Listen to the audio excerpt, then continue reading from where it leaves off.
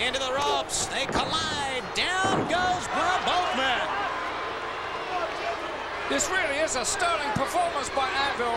He's now taken a tremendous amount of punishment, but he's still valiantly trying to make it back to his corner. And if he can only make that tag, the Hitman is extremely fresh on the outside. The Hitman close to getting there. He is there. But no, the referee in between a Hitman and the action, apparently not seeing the tag will not allow it. Meanwhile, the anvil angle. it flip. He has Volkoff down, but there's no referee to be found, for goodness sakes. Well, he could have counted a seven there. Well, you couldn't hold the Russian down for longer than that. He was down for a seven or eight count. You're absolutely right. And quite now, quite honestly, now, morally, this is a victory for the Hart Foundation, but whether they'll be able to follow that through, well, time will tell. You're right, it is morally a victory, but still, the match continues. A tag, Zhukov is in. Here comes your double team one more time. Thrusting the anvil back to the corner. Being that close to a victory may have given the Anvil some more heart and maybe another resurgence of strength to get back to his corner. He has got to make that tag. It just shows you the resiliency of Jim the Anvil Neidhart when he can take that beating and still come away with a pin for certain. However, the referee was chasing the hitman back to the corner, and the match still goes on.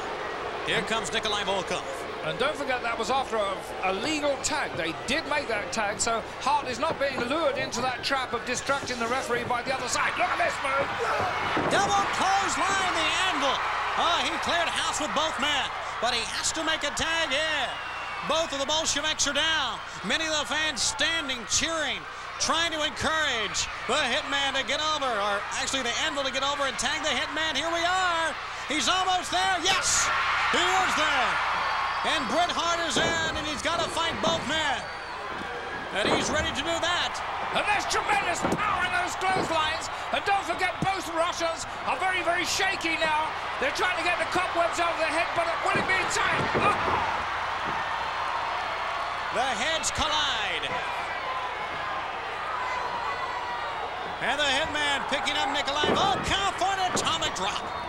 And that takes power and timing and a lot of skill. The big Russian is 320 pounds. Oh, so close. It was a two count. Hitman seemingly moments away here from a win, but can he put it all together? Rolls him up with a small package and got a two count. Give Volkoff some credit. He's been escaping here. And Hart very, very careful of the situation, eyes his partner in the corner. He was looking at him to see if he was ready for that tag. Oh, what a move! The anvil over the top. No, a save by Boris Zhukov. That was the only thing that prevented a win for the Hart Foundation.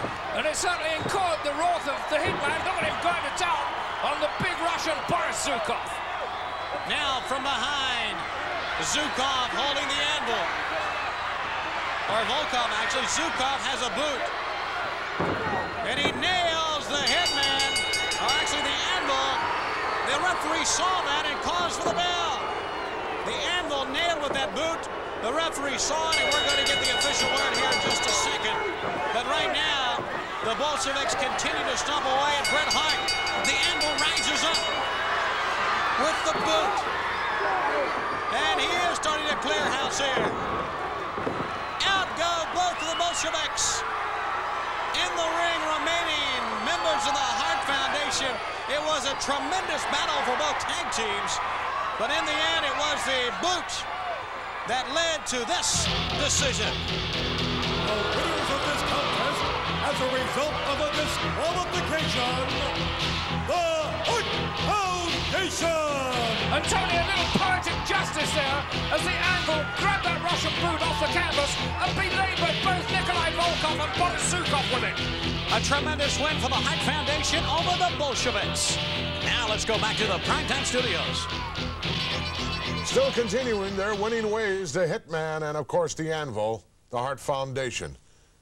There is no getting out. Forget about it. You're in there, you'll draw a number I don't just think like it's it. fair. Well, it is fair. See, everybody like to see Look Andre. at the Ultimate Warrior. Same situation applies to him. He's the Intercontinental Champion. He's involved. He's taking a chance. That's what life's about, I don't Brain. think you taking a chance. understand something. I don't care about the Ultimate Warrior or anybody else. I'm concerned with the family. Not much left of the family, is There's there? enough left. They're World Wrestling Federation champions. Tell me who else is. Tell me. Come on, tell me, Big Mouth. Who else is what? The World Wrestling Federation. Hulkster's the champion of the World Wrestling Federation. World Wrestling Federation. Ultimate Tag Warrior. Champion. Ul- well, there's the only, only one. manager with a champion. I beg to differ with you. You've Name forgotten one. about a person, haven't you? Yeah, he's gone. Another round. Forget about it.